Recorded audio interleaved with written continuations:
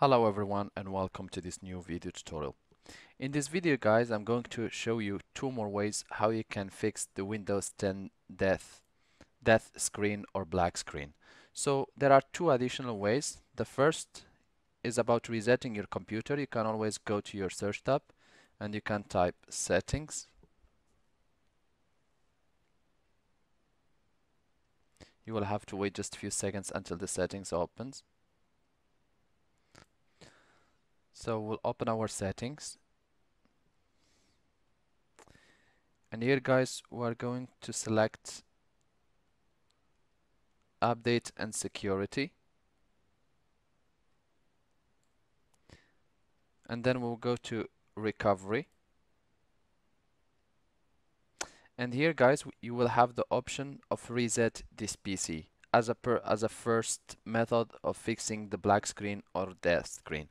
Be careful, resetting your PC will delete all your files. So my advice to you, make sure that you have a backup of all your data before you proceed with the resetting. The second option, we will access the advanced startup menu and we will try to repair our computers from there. So we are going, we are going to click on restart now. And after the restart, we'll access the advanced mode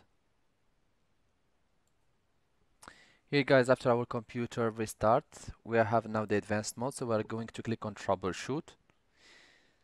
And here guys, you have the option again to reset your PC. You can always click reset if you have a backup of all your data. You can always refer to a video in the description link below for how to reset your PC properly. Here we're going to click in this time advanced option to select the second choice. So here guys, we have startup repair and system restore.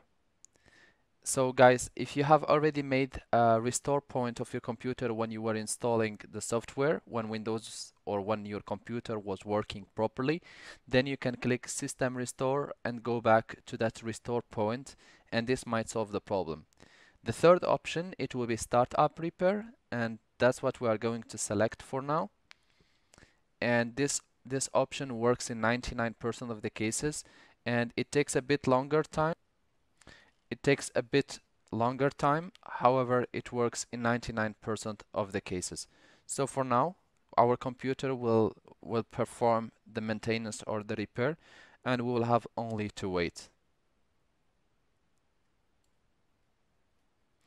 Here the startup repair is asking choose an account to continue make sure that you that you choose the the administrator account otherwise it wouldn't work. So I will click on my account. As I have no password I will just click continue. If you have any password you will have to enter it. And the operation will start diagnosing your PC uh, please note that the operation might take from 3 to 15 minutes so you will have to be patient As you can see guys, it says uh, it says startup repair could not repair your PC. This is for one and simple good reason that I have already repaired my PC when I was trying to repair the black screen. So for you guys it should work.